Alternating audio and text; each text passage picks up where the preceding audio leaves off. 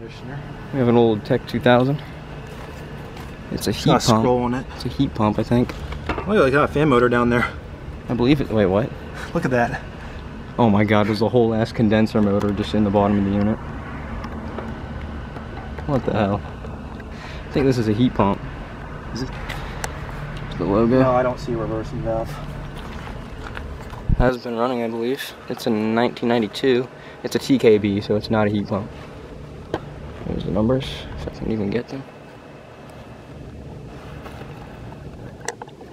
For some reason, It's got sight glass. to put these suction accumulators even in the straight pump connectors. I think Not they sure did why that they did on uh, commercial models. This is a three phase.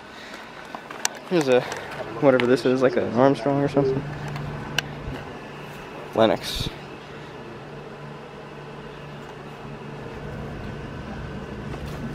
And because this is kind of cool, next door here's an old PTAC.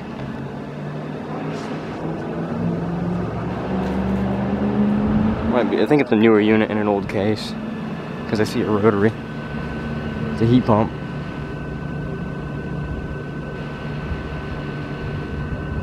Oh, or is that a reset? I can't tell. That's a rotary. It's got a suction accumulator. Split carrier. Carrier split system. Just a tag. 2009.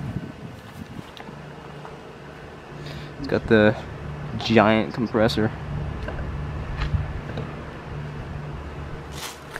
There's a Trane.